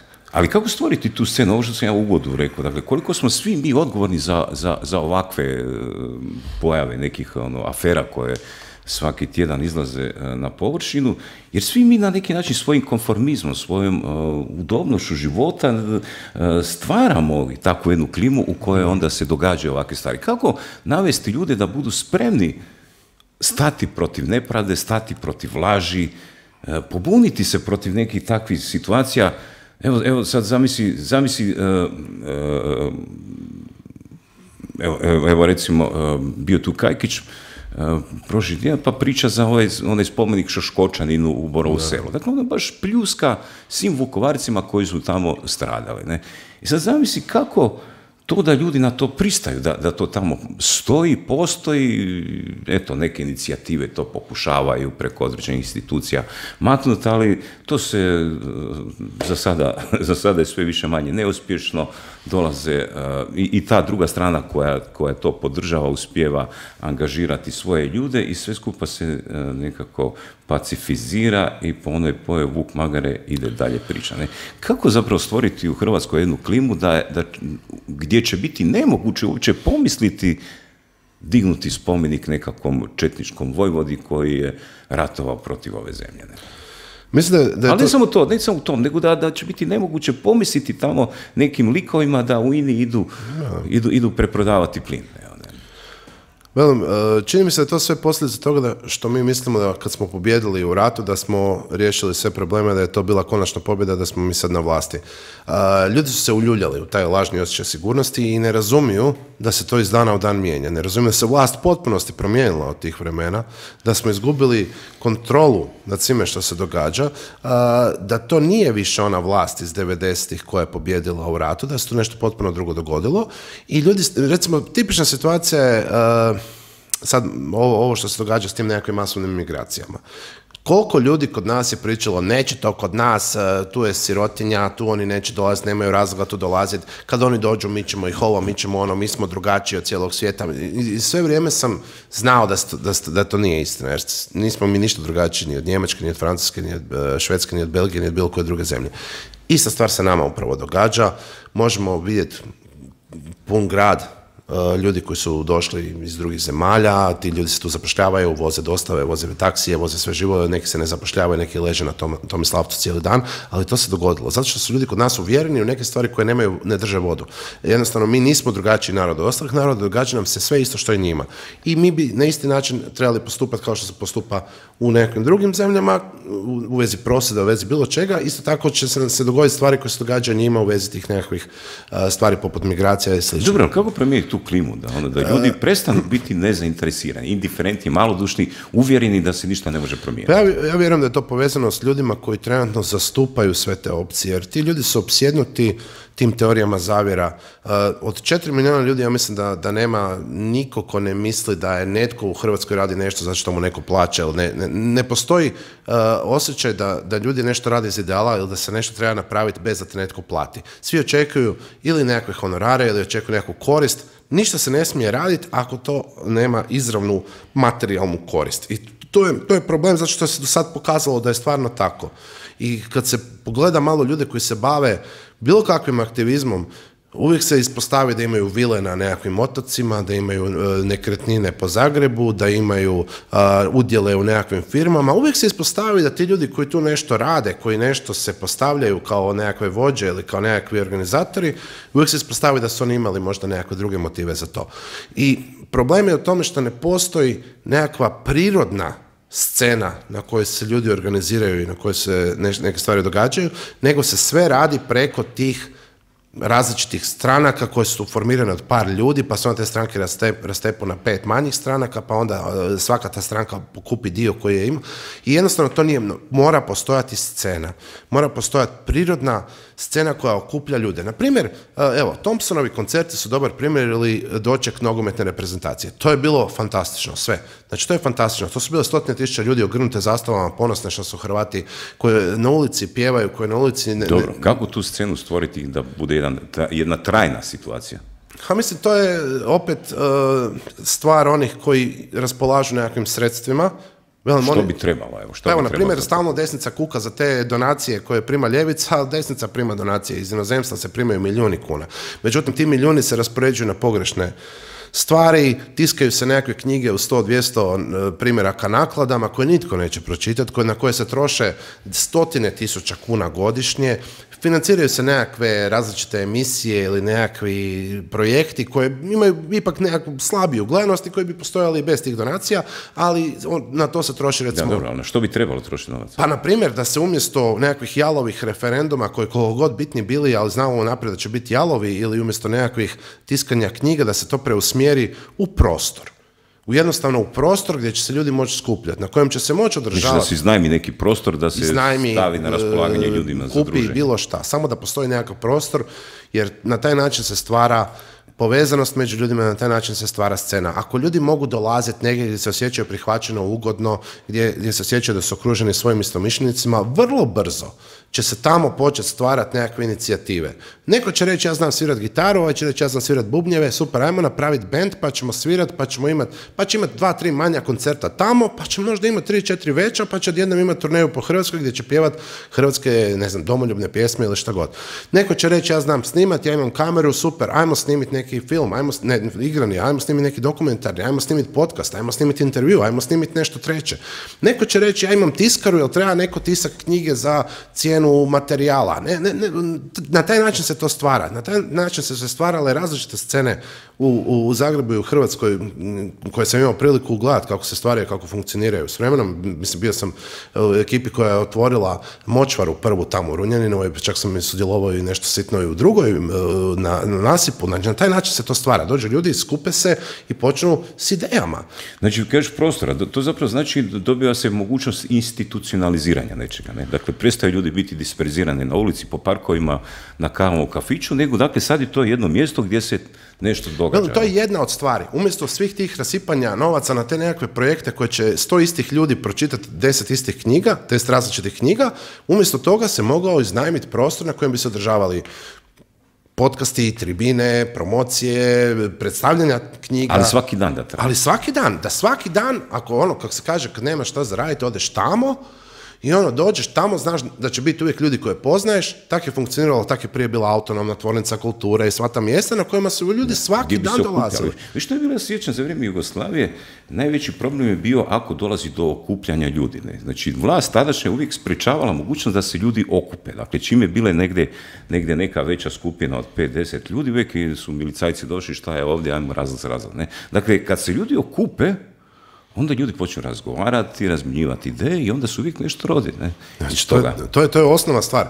Bez tog prostora gdje se ljudi svakodnevno, znači imamo, postoje nekakva okupljanja, to je jednom u mjesec, jednom u dva, tri mjeseca se organiziraju ljudi, negdje nađu neku promociju, onda poslije toga odu na piće preko puta toga gdje se održava promocija i to je to. Oni tamo izbace neke svoje frustracije, i to, ali da se oni svaki dan nalaze.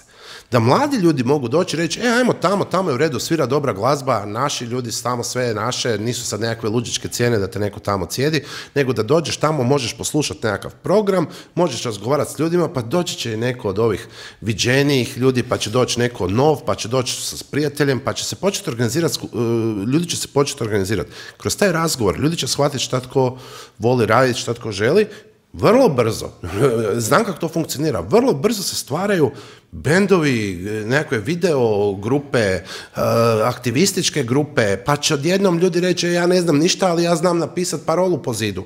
Znaš, Ja ne znam ništa, ali ja znam lijepiti naljepnice po stupovima. Ja, ja ne znam ovo, ali znam. Vrlo brzo se dogodi da svako želi dati svoj doprinos. I to je ono što se dogodilo recimo sa Možemo. Oni su imali to, popravljaju tam bicikle, e, druže se nešto ovo, ono, ti ljudi vrlo brzo postanu njihovi aktivisti. I oni na njih mogu računati. Ja kad pričam s ovima s desnim opcijama, ovaj kaže, mi nemamo 20 ljudi da dođemo ispred poglavarstva. Ja sam mislio, kako nemate 20 članova, nemate 20 ljudi. Joj, pa ovaj ti neće doći, ovo me je to ispod časti, ovo je ovo, ovo je ono. No, tamo imaju. Zato što su ti ljudi željni sudjelovanja, ti ljudi žele dati svoj doprinos, svi se osjećaju, ja sam ja znam kako je to izgledalo. Do, dođu mi ljudi, dva, tri tjedna su mi došli tamo, četvrti tjedan me pita kad, šta može doći, ja mu četvrti tjedan zadatke dajem. Ovih dana je bilo u Zagrebu postavljena ne znam, nekakva izložba i uz ostale plakat e, obitelj, e, otac, majka, dvoje djece, čini mi se kao nekakav objed i u pozadini je bio križ raspelo. I sad tu i natpis je bio odvratno, ali toleriramo. Ne? I sad, činjenica da se ništa nije dogodilo, ne? da je Zagreb e, to e, progutao takvu jednu situaciju, najviše otkriva o tome kakva je atmosfera u gradu Zagrebu. Ne? Da se nije dogodilo uh, jedan, jedan žestok protest ljudi koji se smatraju koji su se prepoznali u tom plakatu da je to dio njihovog ambijenta, njihovog doma, gdje su oni sa, sa svojom obitelji, sa svojom djecom i da oni e, imaju raspelo u svom prostoru, da oni se pomole prije objeda, da oni razgovaraju, da su oni ti koji odu ovaj, slaviti misu u crkvu.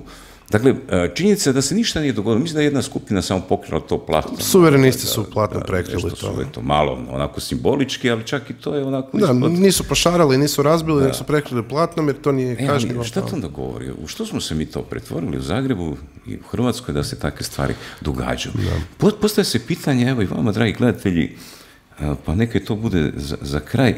Dakle, imamo li mi snage, možemo li taj trend koji jasno pokazuje da idemo prema dole.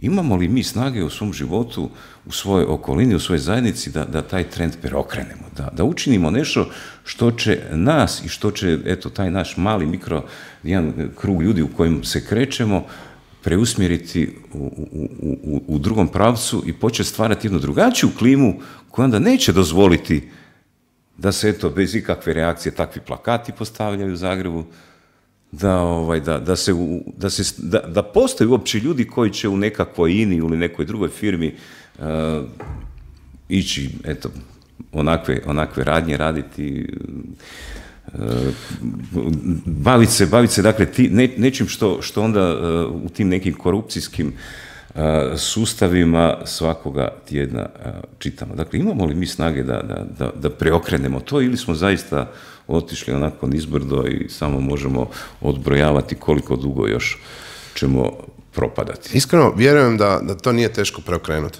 znači, bio sam prisutan na nekoliko tih skupova, kao opet se vraćam na koncerte i na ovaj doček nogometne reprezentacije, kad su stotine tisuća ljudi bile na ulici i kad su stotine tisuća ljudi odlučni, bile odlučne, znači nije, to bilo samo slavlje nekako doček nogometaša, tamo su ljudi dolazili i pokazati nekakav i malo ponos i nati slične stvari.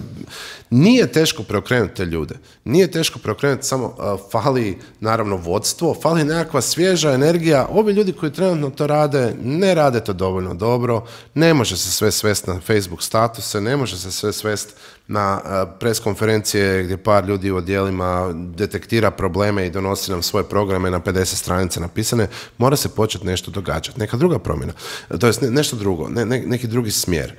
Znači, kad se, kad se ljudi malo ohrabre, može se to vrlo brzo preokrenuti. Ali trenutno ono što vidimo je da se uporno ponavljaju iste stvari. Ovi, e, znači ovo nije prvi put da se dogodilo nešto da je neko pronevjerio nekakav novac, to nije prvi put. Većina ih ne, ne nastrada, većina nije kažnjena. E, otkrivaju se afere svima koji su sudjelovali u bilo čemu, svi su, svi su nešto napravili. I normalno da su ljudi malo oprezni, to jest da je ljudima dosta. Znači, ja, ono, već mi je bilo kad sam vidio te prosvjed, bilo mi ono, a dobro, ajde, otići ću, ali nije mi baš bilo nešto do prosvjedovanja. To događa se to da nam je onak, ništa se neće promijeniti, ništa se neće dogoditi zbog smjera u kojem idemo. Kad bi se taj smjer malo promijenio, ljudi bi dobili poticaj. Dobili bi poticaj sudjelovati u tome, dobili bi poticaj nešto raditi, dobili bi poticaj mijenjati. Uključiti se u nekakve inicijative, uključiti se u, u, u organizaciju, ako ništa drugo prosvjeda, pa mislim vidimo i na ovome tisuću ljudi je bilo, pa se našlo njih par koji su nešto tamo pokušavali. Znači nije, nije, nije bezizlazno, ali se mora promijeniti ovaj smjer. Ovi ljudi to ne znaju raditi. Ovi e, ljudi koji se predstavljaju kao nekakva vodeća, bilo šta, desnica, bilo šta, ne rade to dobro. Dobivaju na račun toga nekakve novce, uljuljali su se u tome što rade i njima to odgovara. Ovi su neki dobili pozicije, ovi neki dobivaju te donacije, ovi neki imaju ovo ono i uljuljali su se. Zašto bi oni sad to išta mijenjali, sve im odgovara. Super, sjede na kavicama i sad zašto bi oni nešto radili? Potrebna je promjena, potrebna je promjena smjera, potrebno je organizirati ljude na uličnoj razini, potrebni su prostori na kojima će se ljudi moći skupljati, potrebna je scena, scenu rade bendovi, scenu rade e, video sekcije, scenu rade internetski kanali, scenu rade nekakve neovisne male grupe koje pišu po internetu i takve stvari. To je scena, to, to radi scena. Mi smo, mi smo išli u dakle onda za vrijeme Jugoslavije bio obavezni vojni rok, ne, mi smo, znači, i to kad smo, znači, sa 18 godina išao si iz svog obiteljskog doma, išao si u neki sustav gdje si ono, živio po potpuno drugačijim metodama i bez obzira koliko je to bilo i nama i teško ili nije nam se dalo i opće ta ideja jugoslavenstva ili nije bila bliska, ne, ali činjenica da smo kroz ti godinu dana onako doživjeli jedno, jedno onako, očvrsnuli smo svi mi koji smo dakle, odslužili tu vojsku. Ne. Vidim da dosta ima ti nekakvih e, po svijetu se pojavljuju razne skupine gdje se organiziraju te neke poluvojne organizacije, udruge gdje onda mlade ljude obučavaju, podučavaju tim vojnim vježbama, disciplinama, e, tehnikama, znanjima, vještinama, ali već sama činjenica da su oni organizirani nekakav stroj gdje oni tamo negdje ono zajednički trče, vježbaju, već se stvara taj nekakav osjećaj zajednički. Što misliš kako to da se u Hrvatskoj ne, ne događa? Da nema nijedne inicijative da se u Hrvatskoj osnuje tako neka,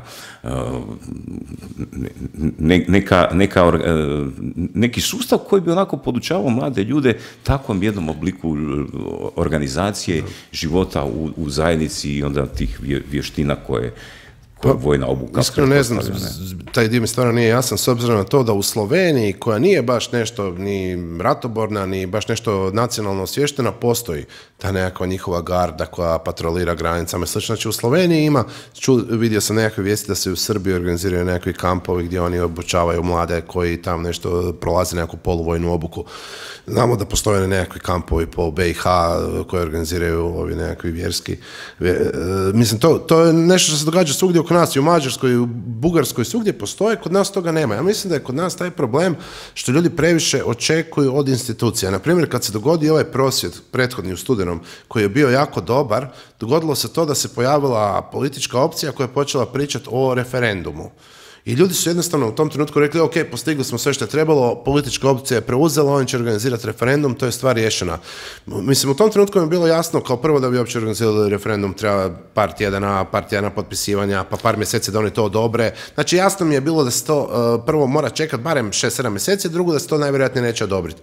Ali ljudi su u tom trenutku prepustili to instituciji, odnosno političkoj opciji koja je tu došla isključivo, evo, samo bit ću otvoren, e, činilo mi se to bilo onak krađa te e, krađa tih ljudi na tim prostima, tu su se pokušali se koristiti tuđom inicijativom da bi sebe prikazali kao neko ko tu rješava, spašava stvar, a zapravo su napravili samo štetu. Evo sad kad spominješ taj, taj prosvjed, bila je jedna skupina koja se našla kod kolodvora i onda su koloni marširali do trga. Ne? To je bio onako jedan jedan vrlo zanimljiva pojava. To je trajalo možda koliko, pol sata, sat vremena, ne sve skupa, ne? I svi su pitali tko su ti ljudi, kako to...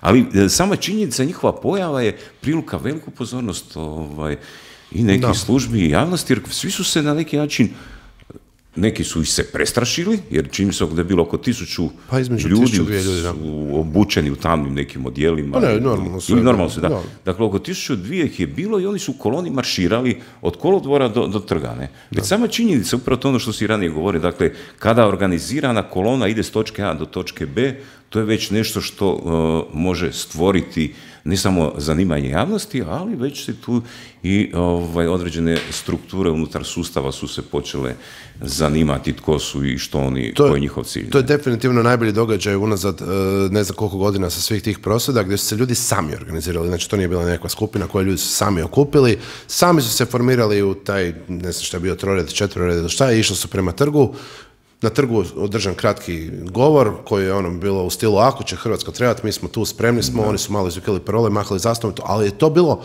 najbolje što je se izrodilo iz svih tih prosvjeda do sada. Dakle, najbolje što, jer se pokazuje da postoje ljudi koji su stvarno spremni, koji su spremni sudjelovati u nečemu i da ih nije teško organizirati. Trebalo ih je samo pozvati, okupiti i, i proći od e, glavnog do trga i izgledalo je jako impresivno. I to nije problem za organizirati. nažalost, ne znam zašto kod nas ne postoje udruge koje bi okupile ljude, pa ne moraju imati ni svoju zemlju, ni svoja vježbališta. Pa može se ići na sljeme, pješke, može se ići negdje ne, nešto pješačiti negdje drugdje. Pa ima prostora otvorenih na kojima se može održavati bilo kakva obuka, na kojima ljudi mogu igrati nogomet, vježbati, nešto, bilo što mogu raditi. Samo nek se okupljaju. To je problem. Kod nas pali to što se ljudi ne okupljaju. Ljudi se ne druže, izostaje im taj međusobni kontakt. Ljudi misle da ako izbace sto statusa na fejsu i sto šeranih vijesti, da su napravili nekakvu veliku korist, da su im sad preokrenuli tisuća ljudi koji su to vidjeli, u pravilu su to vidjeli njihovi isti prijatelji koji razmišljaju isto koji oni, iste prijatelje dave s tim jedno te istim uh, forwardiranim, odnosno proslijeđenim sadržajima, izbacuju svoje frustracije jedni drugima. Ja primjećujem, ja izbacujem frustracije često u statusima. To ljudi, vidim da ljudi ne idu dalje od prve druge rečenice. Većina dole e, komentara se odnosi na prvu ili drugu rečenicu. Znači nisu ni to pročitali. Tako da to nema nekog smisla. Ali u druženju uživo, Znači, u druženju, kad se družimo uživo, to je drugačije. Tu se vidi kako ko izgleda, kako ko diše, kakve ko ima. Ti možeš procijeniti ili neko stvarno za to, ili neko sposoban, nije. Vrlo brzo. I drugo, razvijaju se prijateljstva. Znači, to je ono, ljudi se nađu slučajno tamo na istom prostoru, ali se dogovore da će nešto raditi, tu se razvije prijateljstvo. Pa ako mu treba nekakva pomoć doma, prebaciti nešto, nešto napraviti, tu on, on računa tu na ove ljude, na, na, te ljude s kojima je tamo. I tu se vrlo brzo stvaraju te veze, te veze kad se prenesu u nekakvu drugu stvar, to, to, to može nositi stvarno cijelu tu priču, cijelu tu političku priču, je to stranačka, nestranačka, je to nekakva prosjednička ili bilo kakva, to, to ti ljudi nose, to su te male grupe koje nose cijelu veliku grupu, a do toga se dolazi isključivo putem scene, putem druženja, putem organiziranja. Domagoj, znaš kako se ono kaže, iz tvojih usta u Bože uši. Nadam se da će... Ali, ali naš, naš, evo, samo ako mogu šta je problem. Postoje ljudi koji financiraju nekakve stvari u Hrvatskoj. I ti ljudi su, nažalost, ili okruženi pogrešnim ljudima, ili sami procjenjuju pogrešno. Ali da, da, da ne mogu shvatiti koje stvari su vrijednije njihove financijske potpore, koje nisu, to, to, to ne mogu razumjeti. Ne mogu razumjeti da su nekakve knjige koje se tiskaju u vrlo malim nakladama ili nekakve takve stvari, njima prioritet prilikom financiranja. Da oni sami ne mogu shvatiti, ej, ako postoji nekakav prostor u kojeg može dolaziti svaki dan više ljudi nego što će ukupno pročitati tu knjigu, onda je to valja prioritet. Ako imamo neki prostor gdje se može organizirati događaj, gdje se može organizirati različite tribine, predstavljanja, promocije, gdje će se okupljati ljudi, gdje će postati baza, onda je to valja prioritet. Iznad svega ostalog, iznad svih emisija, knjiga, e, nekakvih inicijativa, ne znam čega. Tako da, evo, na, nažalost, tu je, tu je prvi problem, ovi se non stop vade na milijune od ljevice, a zapravo e, veći problem su milijuni od desnice koji se e, pogrešno dijele. Domagoj, hvala ti lijepo na ovom briefingu, na ovom briefingu o prosvjedima, o, o toj političkoj situaciji u Hrvatskoj i zapravo evo, jednom konkretnom prijedlogu što i kako učiniti.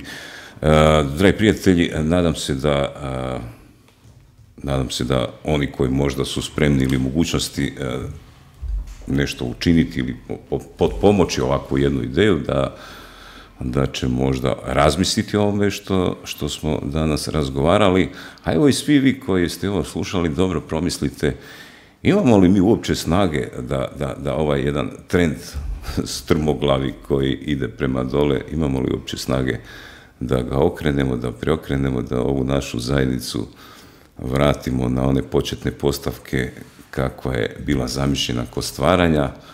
Za početak možda, evo, makar da uspijemo sami sebe nekako iz tog propadanja izvući. Evo, toliko za sada. Vidimo se ponovo za 48 sati.